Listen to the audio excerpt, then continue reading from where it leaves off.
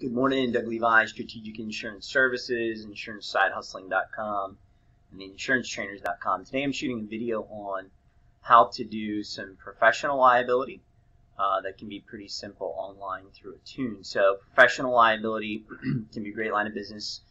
Realtors, accountants, attorneys, doctors, everybody kind of knows on that.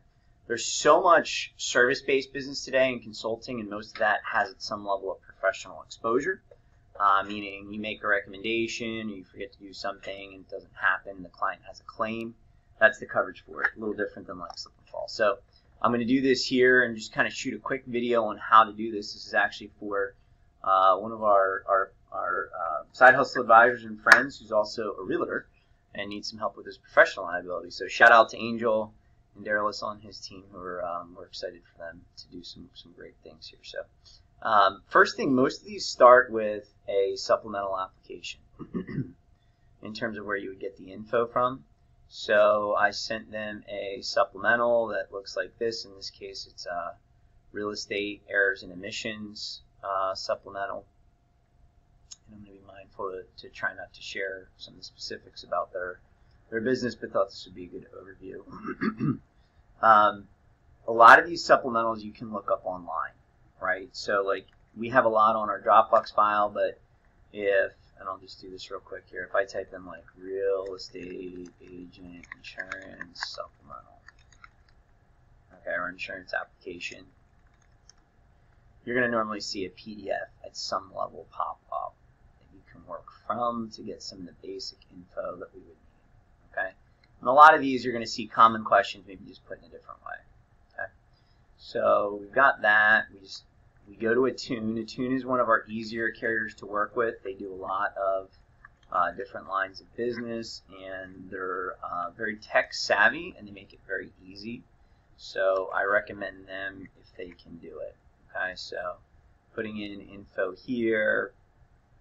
Um, you put in address, all this kind of good stuff. They're normally pretty good about pulling up through, and then real estate agency, and then the carrier will tell you what they can do. So right now we can't do BOPs for them, uh, for real estate, or really for anything right now with the Attune. They used to be able to do that. We'll be able to do it soon. There's some things they're working on in the background with the new carrier. Uh, but here it says professional liability. It says get a quote. Great. So we're going to click get a quote, and then we'll go to um, bring us to the next page here. A lot of times professional liability is going to be a function of either sales, payroll, uh, number of agents or accounts, things like that. Okay. So we're going to put in the effective date, what we need it by, class of business. So we'll type in real estate agent broker. Structure is going to ask probably is it an LLC? What is it? Okay. Uh, business owner's first name. And again, for some of this stuff, for just for sake of privacy. I'm not going to put all this info in right now. See if it'll let me go to the next screen. So what I'm going to do, I'm going to just uh, put my screen down for a second. Put it over here. You can see cute pictures of my kids. I will go ahead and fill this in and then come back in a second guys always want to think about privacy, obviously the best we can in terms of protecting people's privacy. Just trying to help show some info here though. Let me see. Okay, so I'm going to go over here. Okay, and some more info, number of locations, so just have one location. Most people need a million dollars of liability. Uh, you can put deductible amounts. You can do anywhere from a thousand to ten thousand. I would normally do like twenty five hundred or five thousand. Again, gross revenue for now. I'm going to flip the screen over here so that's sort of shielded. so we'll put that in and uh, it is going to ask for how many agents or brokers as well. Put that in as well. And it's asking for on this part here now, it's going to ask for some other things that aren't maybe as, as you know sort of sensitive. So just asking for um, you know average sale.